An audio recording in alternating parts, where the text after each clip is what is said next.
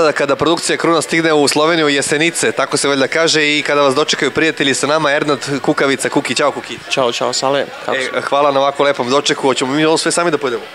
Pa nećemo, ja ću, ja ću s tobom da jedem, ovaj, ali slobodno, kao što kažemo, dobar tek, Slovenci. Da, da, evo, nismo se vidjeli dugo nešto od Minhena pre 3-4 godine, ali malo pre smo rekli, kad god se vidimo, super se ispričamo i lepo nam je. Tako je, da, ali nismo se vidjeli tri godine, bili smo na onome snimanju i bilo je ekstra i danas ćemo da ponovimo to. Da, da, uvek kad je ekstra, mi se ovaj, družimo, zezamo, pevamo, sviramo. E, tri godine je prošlo, ajde da te pitam što se tiče tvog pevanja, napredovo si sigurno, mnogo bolje sad zvučiš. Pa ja mislim da jesam, ovaj, tako da radimo, trudimo se ovaj, i vidjet ćemo, narod kaže. Da.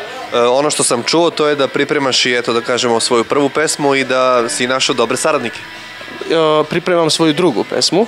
Ovaj, e, saradnik je naš e, Edo Grand, on će da radi kompoziciju i sve. Ovaj, pisao je tekst e, Ante Tadić, e, pjesma će biti e, posvećena ocu, tako se zove, ovaj, i ja mislim da će biti ekstra. Da, ja sam imao prilike to nešto oko nove godine kad si mi ono slao da, da nešto malo poslušamo, to je jedna životna priča. Tako je, životna priča, priča o, o ocu, o tako, o jednoj, čućete, sve u svemu, nećemo previše da otkrivamo. Tako je. Dok ne stigne pesma da te pitamo kako ti je ovdje u Jesenicama?